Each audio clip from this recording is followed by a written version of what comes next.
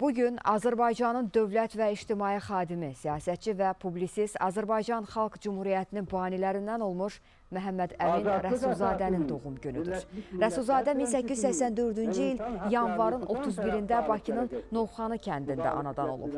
Prezident İlham Əliyev Azərbaycan 2023-cü ildə dekabrın 30-da Məhəmməd Əmin Rəsulzadənin 140 illik yubileyinin qeyd olunması ilə bağlı sərəncamı imzalayıb. Sərəncama əsasən bu il Mədəniyyət Nazirliyi, Elm və Təhsil Nazirliyi və Azərbaycan Milli Elmlər Akademiyası ilə birlikdə tədbirlər planı hazırlayıb həyata keçirməlidir. altında.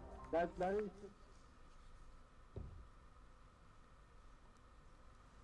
gönderir. 28 Mayıs İstiklal Kurbanı